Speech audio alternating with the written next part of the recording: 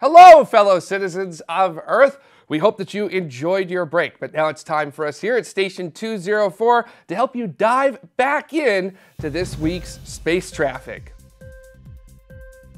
First, we're heading to India's Satish Dhawan Space Center, where a polar satellite launch vehicle lifted off on May 22nd at midnight Universal Time lofting the 615 kilogram RISAT-2B satellite into a 557 kilometer orbit inclined 37 degrees to the equator.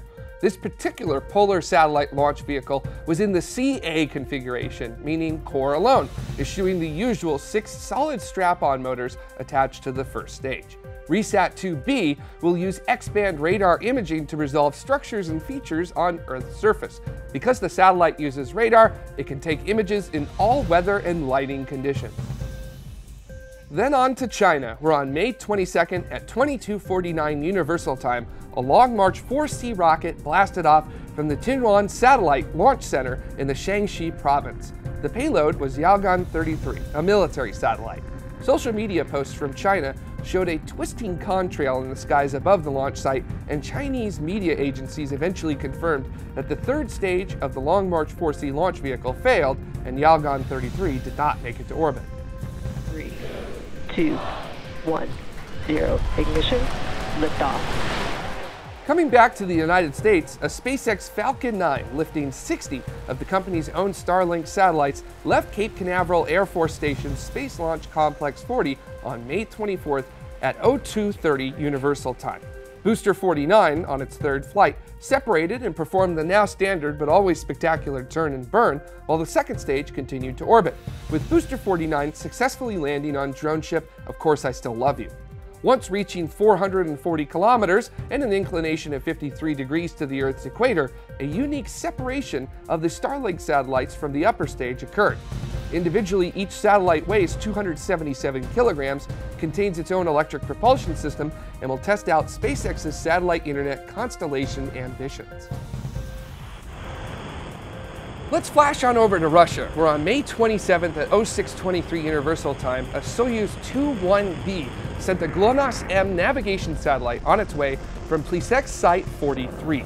A few seconds into ascent, lightning struck the booster, but there was no need to call SCE to aux, and the Soyuz 21B continued with the Fregat upper stage taking over and successfully placing the 1,400 kilogram Russian government satellite into a near circular 19,100 kilometer high orbit at an inclination of 64.8 degrees to the Earth's equator. As per the Defense Ministry's nomenclature for satellite names, it will likely be redesignated Cosmos 2534.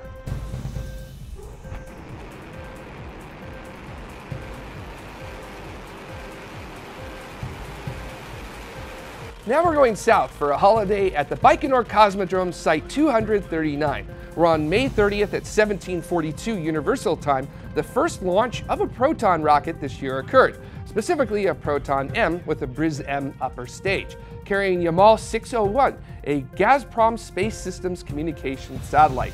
The 5,400 kilogram craft was lofted into an elliptical geostationary transfer orbit, where its own onboard propulsion system will circularize its orbit and begin to provide C-band and Ka-band coverage of Eastern Europe, Russia, Central Asia, the Middle East, and parts of Southeast Asia. In our last bit of traffic, after 29 days on station, SpaceX's Dragon C-19 spacecraft undocked from the Harmony module's Nadir port, June 3rd at 1601 Universal Time. This was Dragon C-19's second flight to the International Space Station. Once away at a safe enough distance, Dragon fired its engines, separated from its trunk, and began atmospheric reentry to a successful splashdown in the East Pacific Ocean at 2152 Universal Time. It returned 1,900 kilograms of cargo and scientific results.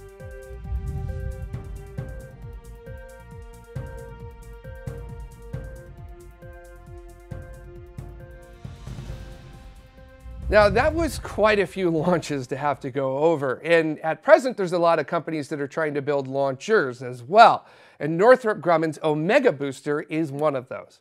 Aerospace is a field that's not for the faint of heart, especially as a designer. It's littered with the shrapnel of rocket parts and debris of ideas that were expected to change the game but didn't.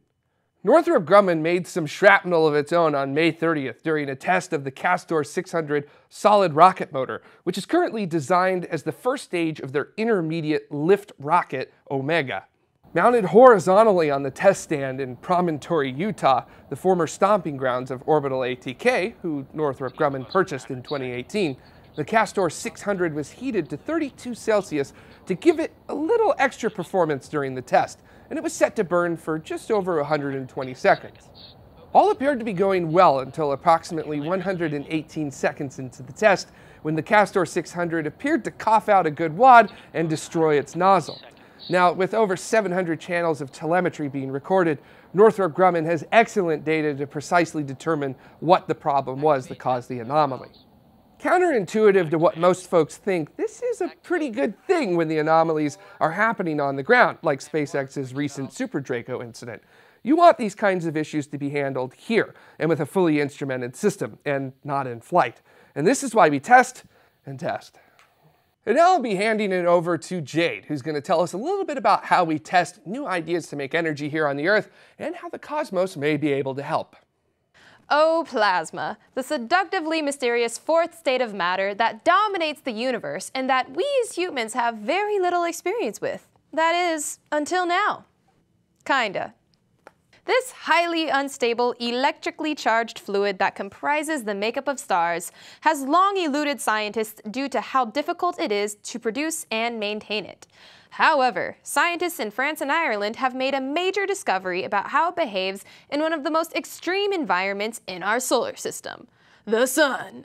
Using a large radio telescope in France and UV cameras on NASA's Solar Dynamics Observatory, they were able to study how plasma becomes unstable in the solar atmosphere, which can soar to as high as 2 million degrees Celsius. By using both space and ground-based equipment, they were able to image radio pulses emitted by the plasma for the first time ever and gain a deeper understanding of its behavior. You see, the matter that we're familiar with typically comes in three flavors solid, liquid, and gas. However, the most common type of matter we see in the universe is the one we're not so familiar with plasma. This elusive fourth state of matter occurs when a gas gets superheated to the point where its electrons break free from their atoms to form an ionized and conductive fluid. Despite it being so prevalent in the universe, it is also the least understood, and for good reason. It's extremely difficult to produce plasma in a lab due to the extreme conditions it needs to form. In order to fuse two hydrogen atoms, for example, you would need temperatures of at least 100 million Kelvin, which would vaporize any materials used for enclosements. Thus, some sort of confinement technique, such as a strong magnetic field, would have to be installed. Therefore, we use the sun as a naturally occurring lab to see how plasma behaves in conditions too extreme for Earth-based labs to recreate. So why even study a form of matter that's seemingly irrelevant to our everyday lives? Energy. By seeing how plasma behaves in the sun, we can learn more about how it behaves here on Earth, and we can use this knowledge to apply towards nuclear energy generators in the form of magnetic confinement fusion reactors. These are a safer, cleaner, and more efficient alternative to fission reactors, which break atoms apart versus fusing them together, and also uses radioactive fuel like uranium to power them. And if you've been watching Chernobyl, you already know the inherent risk associated with that. Although we're still decades away from developing a functioning fusion reactor, the demand for a clean, efficient energy source will only continue to grow as energy demands skyrocket, meaning it's probably best we figure out a solution sooner than later. Plus, understanding how the majority of matter works in the universe never hurt anybody, right? And now for your interplanetary weather forecast, here's Dr. Tamitha Skov. Space weather this week is definitely picking up a little bit. As we switch to our front side sun, you can see old regions 2740 and 2741 rotating back into Earth view. Now, they're not the powerhouses that they were the last time we saw these regions, but they are managing to boost the solar flux for amateur radio operators and emergency responders.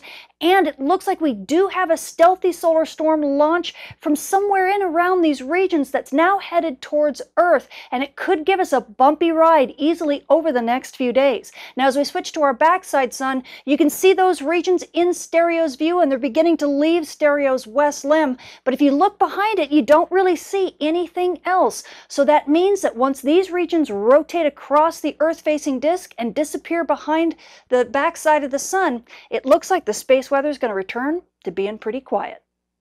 Look up in the sky. It's a bird. It's a plane. No, it's just Starlink. No doubt you have already heard the news about the first 60 members in the SpaceX satellite train, which will ultimately be a 12,000 satellite constellation aimed at giving us fast internet coverage all over the world. Since their launch a few days ago, you can see these shiny new low Earth orbiting satellites like little fireflies in space. And they'll be especially visible just after dusk and just before dawn when they will be lit by the sunlight, but your sky overhead will still be dark. But don't expect this shine to last. Expect their brightness to dim slowly as these satellites are now dealing with a hostile space weather environment that will dim their shiny coats over time. And this is just the first of many space weather challenges this budding constellation will face as the sun wakes up and begins firing all sorts of solar storms at Earth. No doubt Starlink will face issues with communications both to the ground and from satellite to satellite as they contend with this new kind of stormy weather. They could even be pushed out of their orbits due to the effects of space weather, so we shall see what the future brings. One thing is for certain we are witnessing the dawn of a new era in space age communications, and it's fantastic. But it's one in which space weather has now become your weather. For more details on this week's space weather, including when and where to see aurora, how GPS will fare, and what's in store for emergency radio communications, Come check out my channel or see me at spaceweatherwoman.com. Thanks for watching Space News this week. And before we officially wrap up, of course, we always want to thank our citizens of tomorrow. You folks are what help make this show possible. We would not be able to do any of this or provide any of this for the world without your help. So if you'd like to contribute, if you got something out of the show, you can head on over to patreon.com slash TMRO or subscribestar.com slash TMRO. And if you'd like to contribute but you can't do so financially, that's a-okay as well. Head on over to community.tmro.tv and you can find out a multitude of ways to contribute there as well. And if you are a citizen contributing via Patreon or Subscribestar, we're going to have a hangout for you this weekend in lieu of a live show. So stay tuned for more details about that. You're definitely going to want to tune in because you get to hang out and you get to hear new ideas, and it's pretty darn exciting. And that's it for this week's space news. Until next week, keep exploring.